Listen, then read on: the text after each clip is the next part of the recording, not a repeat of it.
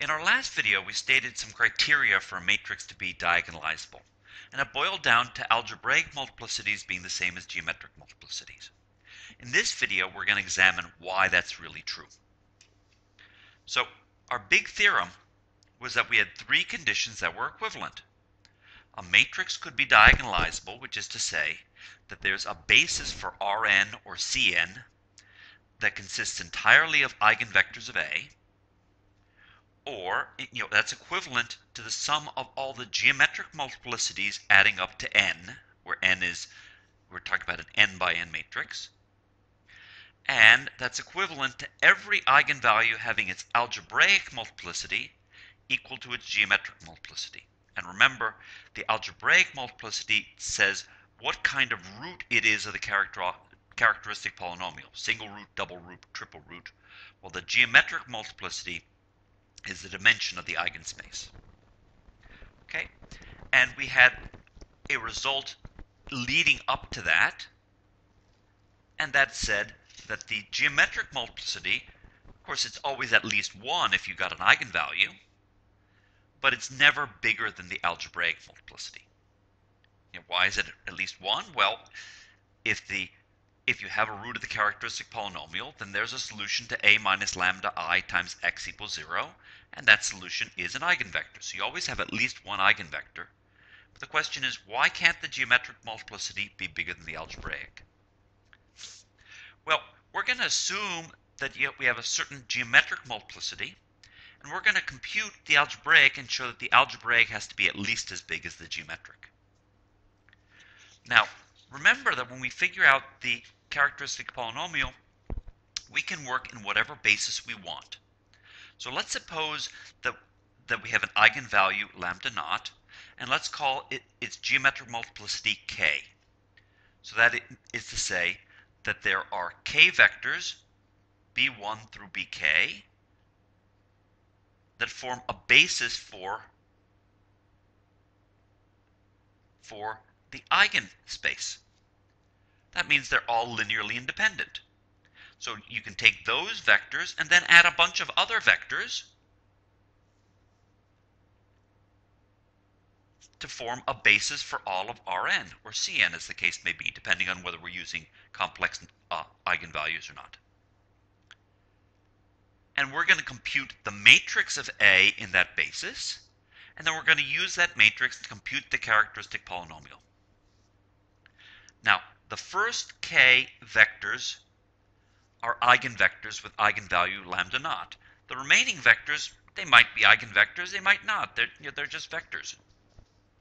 So, how do we figure out the matrix? We have to take AB1 and express it in the B basis, AB2 expressed in the B basis, ABK expressed it in the B basis, and then A times all of the other, the other vectors expressed in the B basis.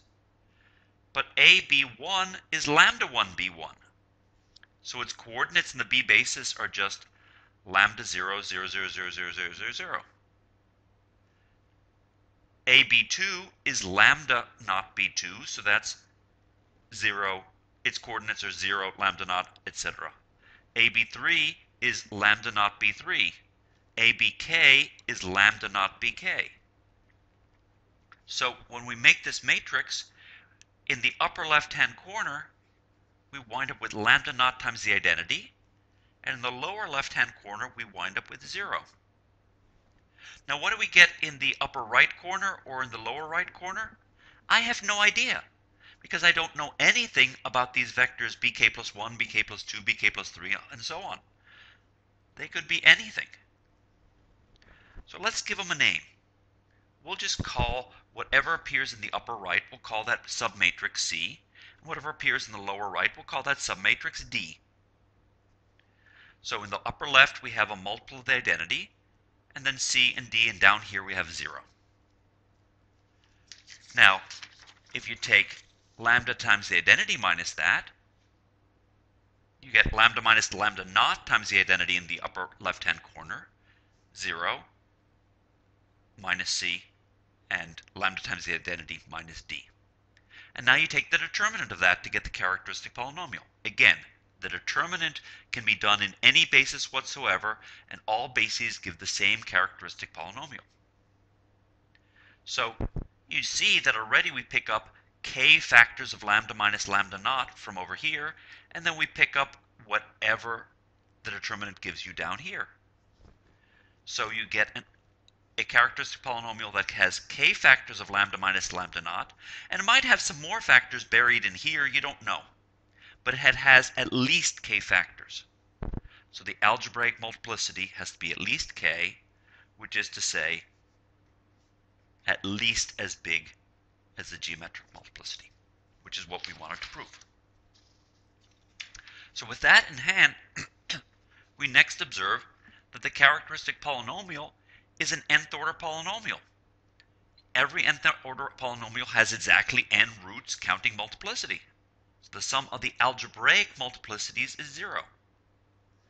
And we know that the geometric multiplicities are less than or equal to the algebraic multiplicities.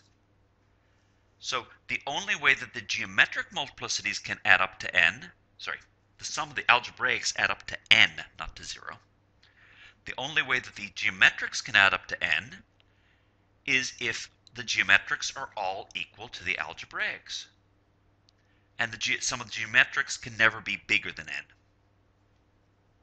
So let's remember the three criteria again we said that something is diagonalizable if and only if the sum of the geometric multiplicities is n, which occurs if, if and only if each geometric is equal to algebraic.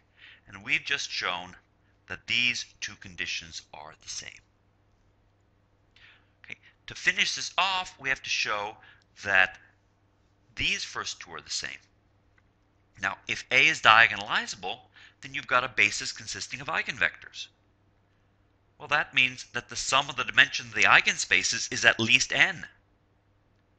On the other hand, the dimension of the sum of the dimensions of the eigenspaces can't be bigger than n, so it must be equal to n.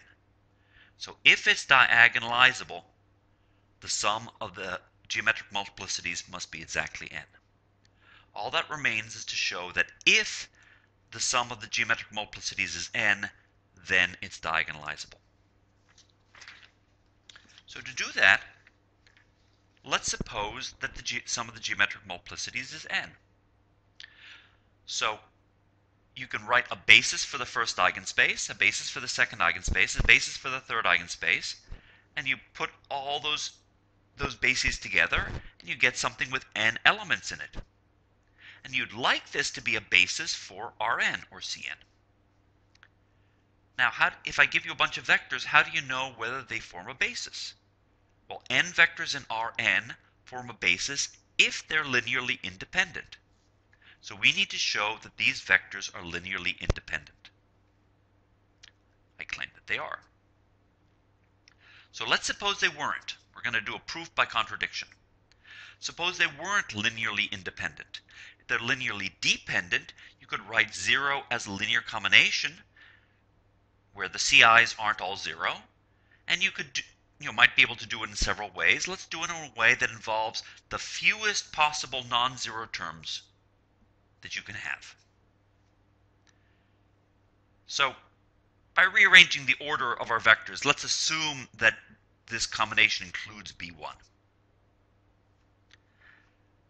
Well, if we hit both sides of this equation with A minus lambda 1 times the identity, see A minus lambda 1 times the identity acting on B1 gives us lambda 1 b1, that's ab1, minus lambda 1 b1, and that's 0. It kills the first term. What it does to any other eigenvector is it multiplies it by a constant. So if you hit both sides of this equation with a minus lambda 1 uh, times the identity, you get 0, and then you kill the first term, and the other terms survive. All the terms with eigenvalue other than b1, uh, other than lambda 1 survive. And so you wind up with a linear combination with fewer terms. That's a contradiction because we assumed that this was the combination with the fewest possible terms. And that's the end of the proof.